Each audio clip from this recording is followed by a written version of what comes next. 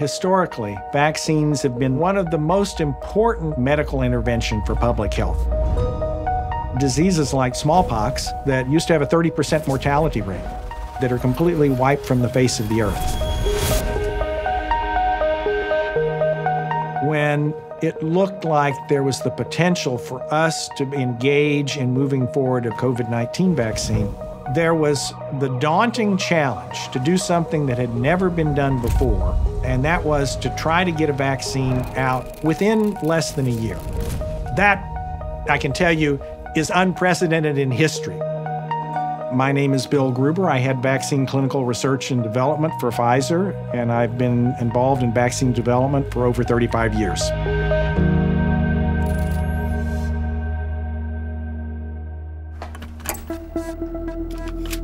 If you had asked me at the time, what did I think the chances of our success were at the very beginning of this, I, I would say well less than 50%. Because the fastest that any, by the way, any other vaccine had ever been developed, to my knowledge, prior to COVID 19 was four years.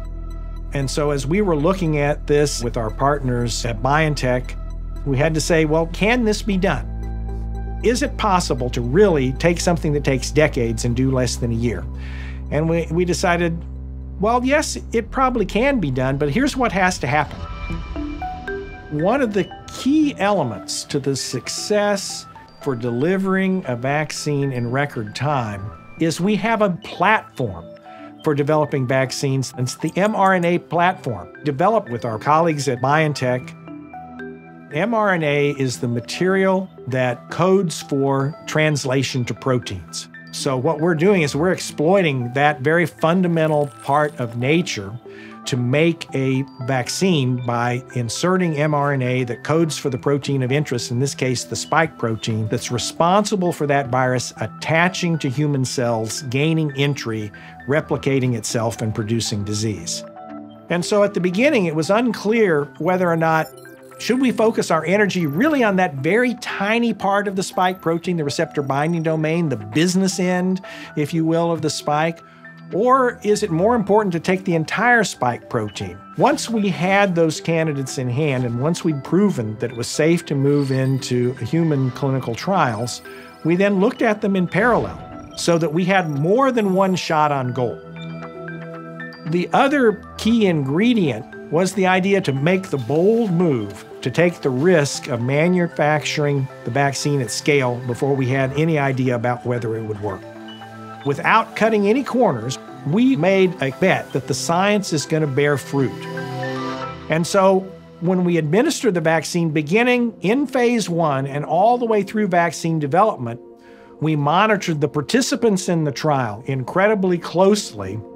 And that's how the BNT 162b2 construct emerged victorious and became the basis for moving forward into later phase trials.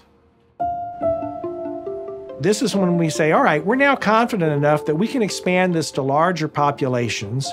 We did that until we had enough cases that we felt we could be confident say, okay, now we can examine the total number of cases and determine whether the vaccine is likely to work.